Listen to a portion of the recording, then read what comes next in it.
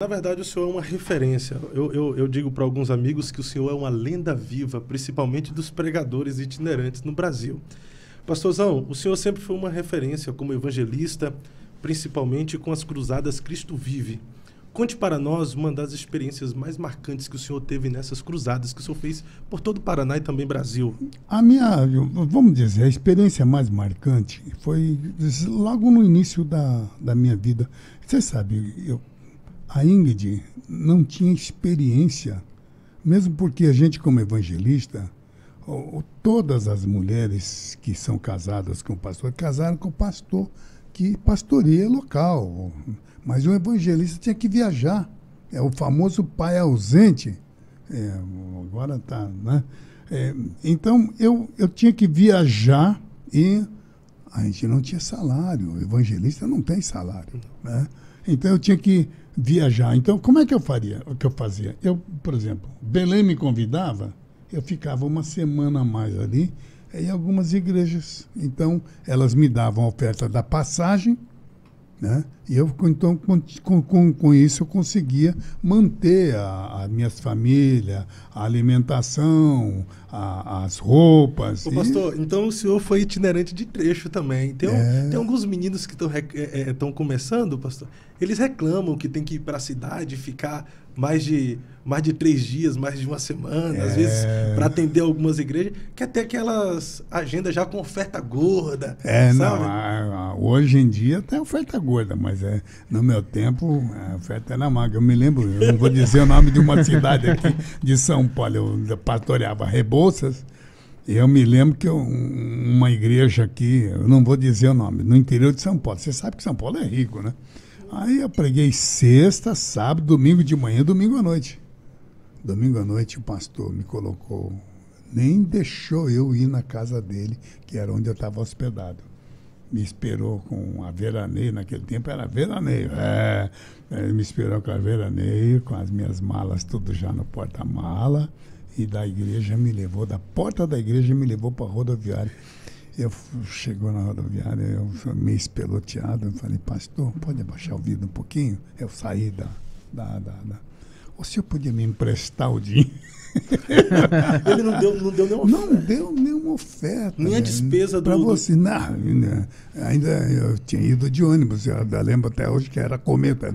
Ô pastor, é, um pastor amigo meu, pastor hum. Mário, uma vez me comentou que o senhor ia nas igrejas e levava relógio e, e, trabalhava assim, porque o senhor sempre fez um caldo uma feijoada, né, pastor? Fez assim Não, do seu jeito, né? Um, é, é, dava um é. jeitinho.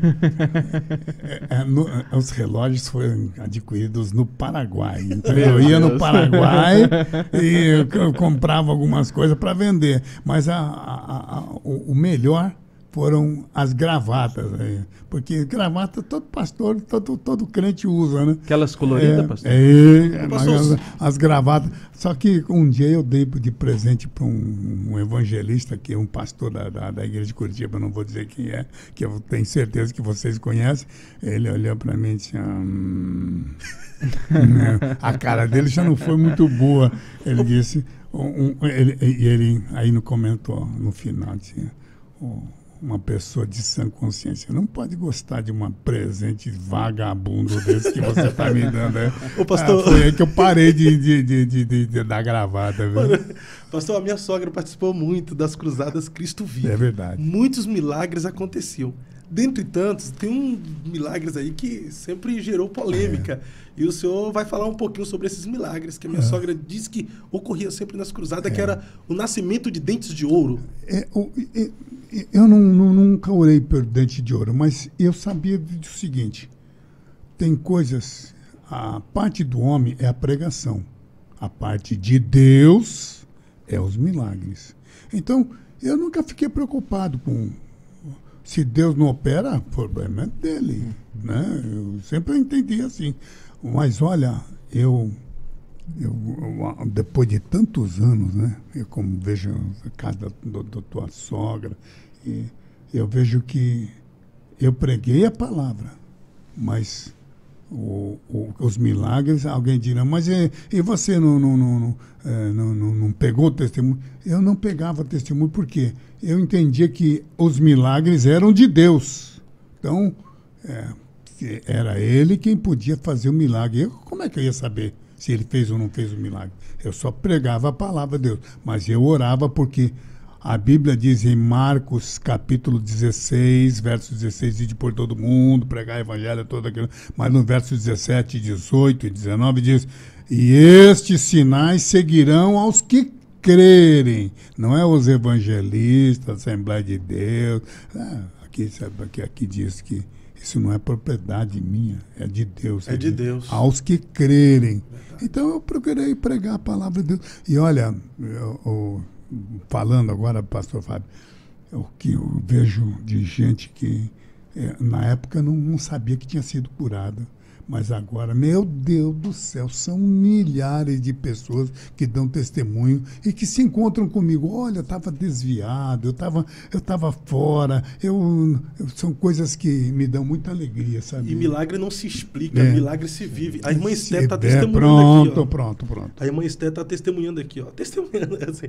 Pastor Takayama fez parte da minha infância. Uma vez ele estava conversando com meu pai, daí comprou um sorvete para mim e disse: Sempre que entrar em uma fria, lembre-se de mim.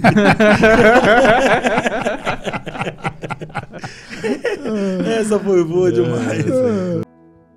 Eu acredito na minha geração. Fui escolhido para mudar essa nação.